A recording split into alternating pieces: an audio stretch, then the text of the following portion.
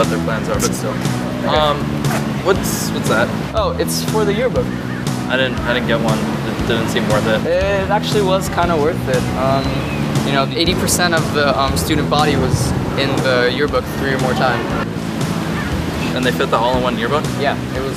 Yeah, they fit that. No. That's pretty cool. But what are personal pages? Oh, it's where you get to design your own yearbook. Uh, I got mine done last year, actually. Um, I got all my friends in it. Pictures were really nice. How many pages do you get? Four. You get four pages. You get to put whatever you want in them. So I gotta put four high definition pictures in my yearbook of everything, anything that I want.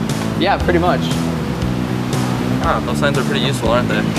Yeah, they are actually. Yeah. So, are you gonna get the yearbook? Oh, I'm definitely getting it. Yeah. I'm gonna go get one now. Sweet. Aren't you glad you're getting the yearbook now? I'm so happy I'm getting the yearbook right now.